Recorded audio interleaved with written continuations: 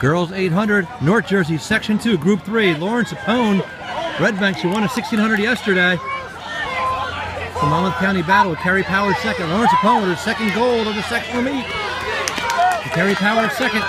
Lauren Sapone about, about 214. Her Sapone in her second gold. Here in North Jersey, Section 2, Group 3. Congrats to Lauren. One of the biggest stars in the state going to Dartmouth next year. Congrats to Lauren. Double winner here at Ridge High School.